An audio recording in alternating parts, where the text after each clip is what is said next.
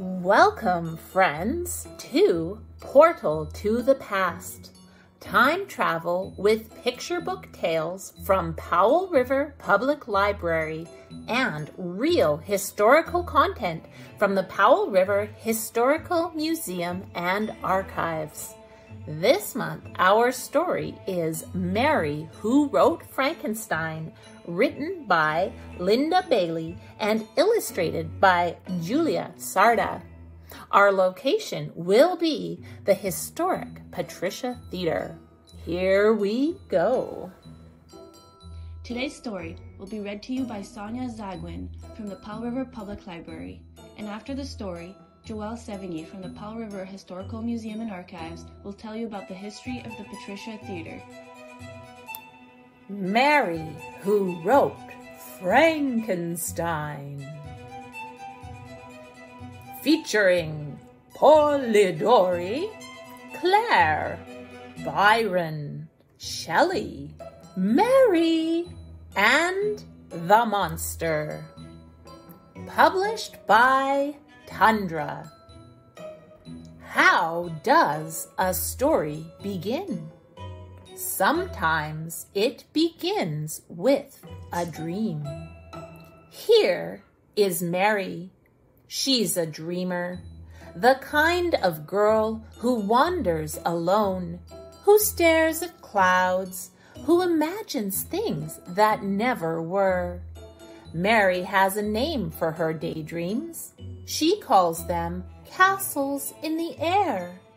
Mary loves stories too. She tries to write the kind that she reads. But the stories she sees in daydreams are the most thrilling of all. And where does she go to read and dream? She goes to a graveyard and sits at her mother's grave. Mary's mother was a great thinker. She wrote books to say that women should have the same rights as men. She died when Mary was only 11 days old. Can you miss someone you've never known? Mary does. Mary's father is also a thinker. He taught Mary to read by tracing the letters on her mother's gravestone. Mary loves her father, but he can be strict and stiff. And when he's upset with her, he grows cold and silent until she cries. Before long, he marries again. Mary doesn't like the new wife. The new wife doesn't like Mary either. Famous people visit their London home. Philosophers, artists, scientists, writers. One night at a party, a writer named Samuel Taylor Coleridge recites a strange, eerie poem, The Rime of the Ancient Mariner. Mary loves such poems, but she has been sent to bed. She wants so badly to listen that she hides behind a sofa. She and her stepsister shiver with fear at the spine-tingling tale of a ship full of ghosts. For the rest of her life, Mary will remember this night, and she will never forget that poem. To be continued. We have only read a portion of this book for this portal to respect copyright. To finish the story, visit your local library to reserve and read a copy of the book, or follow the link in the video description to find out how you can invite Sonia and Joelle into your classroom to deliver an interactive portal to the past. Here we have a portrait of Mary Shelley and how she looked in real life. Mary wrote her extraordinary novel, Frankenstein, or The Modern Prometheus, when she was only 18 years old. Published in 1818, Frankenstein is now over 200 years old. It's a very old story.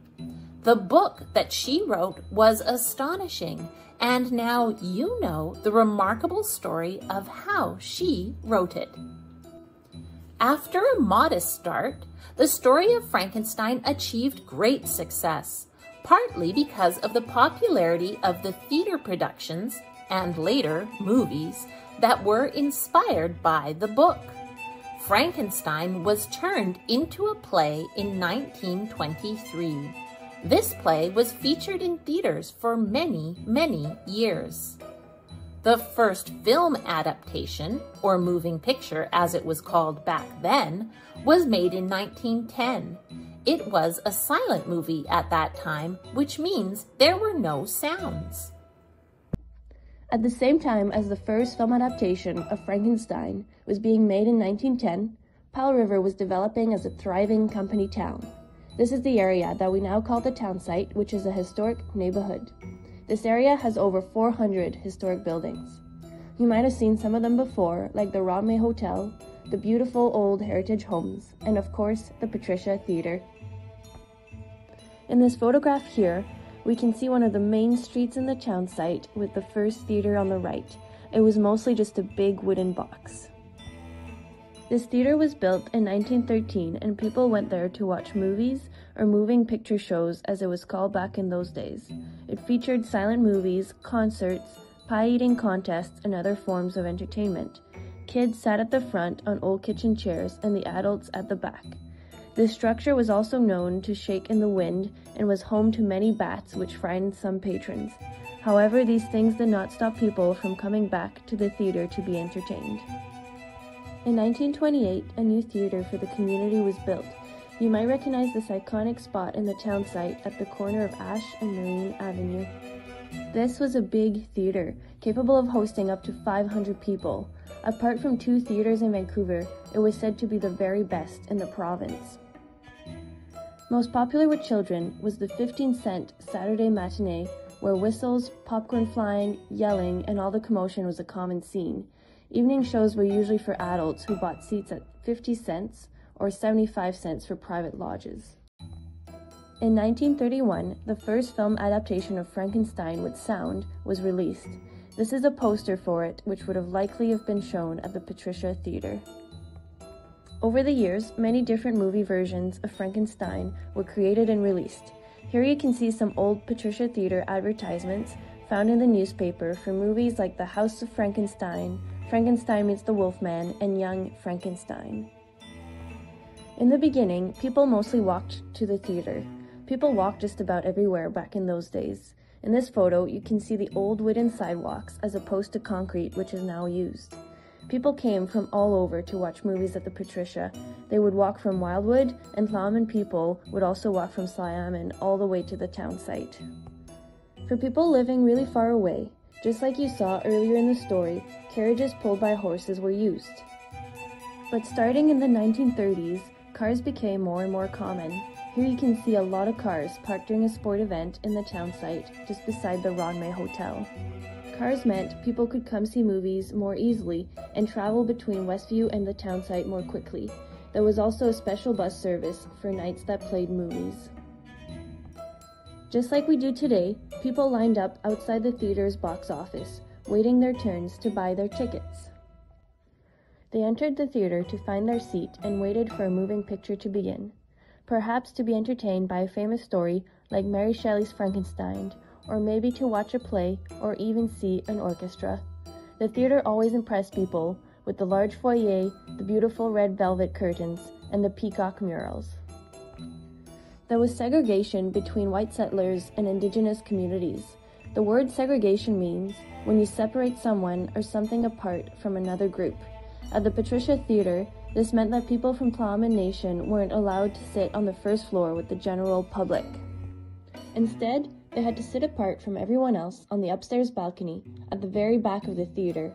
This is also called racial discrimination, and it created lasting negative impacts for Indigenous communities throughout Canada.